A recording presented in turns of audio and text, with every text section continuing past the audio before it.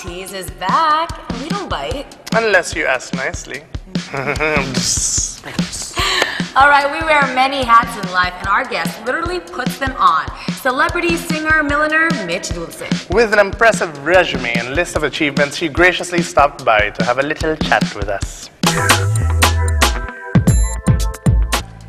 Hey guys, we're back with a lady I have to tip my hat off to, uh, the very talented Mich Dulce.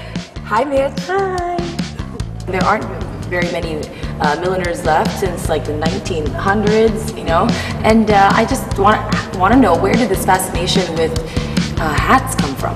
Well, I always collected hats since I was very young, since I was in high school, and um, when I started doing fashion, when I started doing shows, um, I always wanted hats on it, but then there was no place to buy it in the country. Mm-hmm. So my friend Michael Saliente said, you know, you should just go study it since you love it. And I was like, yeah, you know what, I will. So I actually just went to study hat making for myself, and then it kind of took off. Like basically, people just really responded well to the hats since I was the only milliner in the country. Mm-hmm. So that's what happened. Then I just started became a job.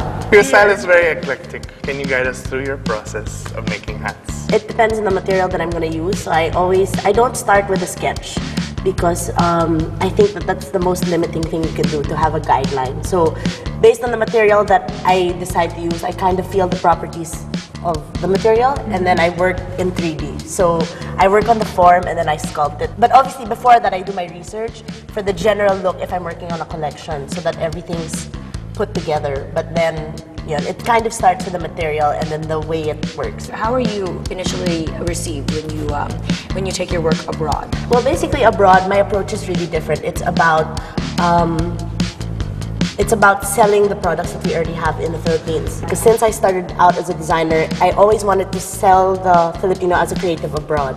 So when I did that competition, it was my opportunity to really get to sell our country. My pitch was basically working with Abaca, which since the 1800s, like the Europeans have been coming here and have been taking this material from us. And literally, Abaca is the strongest fiber in the world. And we have like 77% of the Abaca that's being exported abroad. So basically, my pitch was that we've been the supplier of this material to the world and it's literally the most important material for millinery and every single milliner uses it but there's no Filipino creative who uses this product so my pitch whenever I go abroad is trying to sell not just what I do but also in the context of um, using Filipino materials which have been exploited for like ages and ages by all these people who get rich on what we use. Do you think you've reached a different level of uh, success because of that? I think um, an important part of how my career was able to change was being able to accept that it's not always about making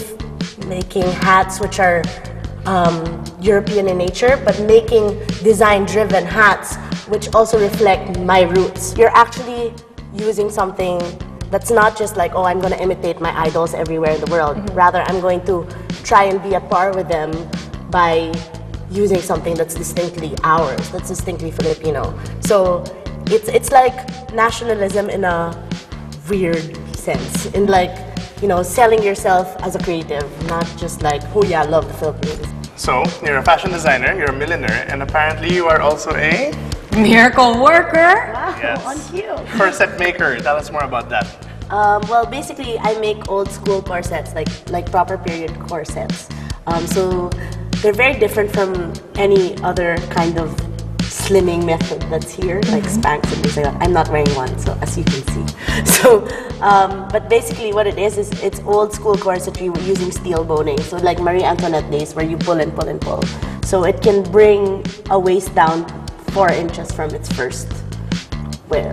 Like, so like like literally like um, like a Chara's wedding, which um, was probably the most popular corset that I made. She went from a 25 to a 21 because of corset training. So it's really like what um, I'm focusing on in the Philippines because here I don't sell as much hats as I do abroad. So here I'm really working on my corsets. Where does it go? Where does the four inches go? Um, it's in there. It goes to your tits or can I say that? Yeah. Okay. it, goes, it goes up or it goes down. So if you want tits and ass, then you can. Can I say that too?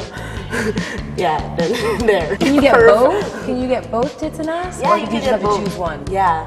Yeah, but basically it's all done to measure. So it's it's really old school. Mm-hmm. Like really, you have to come in and it takes a lot of fittings and it takes a long time to make. So you've done so much already at such a young age. I just want to know what's next.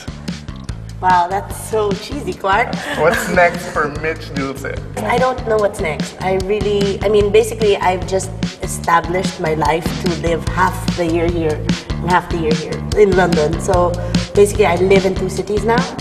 Um, and I'm really just trying to pitch my label abroad and just sell it more. Like right now, um, I'm, my biggest stock is this Japan. So I'm trying to get more of, um, I, I've got London, but I'm trying to get more of Europe. And I'm going to try and do the States and Australia this year. So we'll see. Quite, it's quite a busy year then up ahead. Thank you so much for taking time out of uh, the busy schedule to chat with uh, Quark and myself. It's been a pleasure. Thank you. We can't possibly capture everything about our guests in one interview. So we have the lightning round where we assault our guests with so many questions, and you better watch carefully because Mich Dulce has some very controversial answers. She answers as fast as she can. Lightning strikes more than once. Here we go. Okay, here it is, a lightning round, and questions are coming fast. Mich, are you ready? Yes. Okay. fast questions, fast answers. That's all you gotta do. How many hats have you made? Over 100. Number of people who can actually pull off your hats. Uh, less than 100. How many corsets have you made? Over 50. How many corsets have you worn? Um, five. How many corsets have you made other people wear? Um, more than 50. How many songs have you wrote? Have I written any?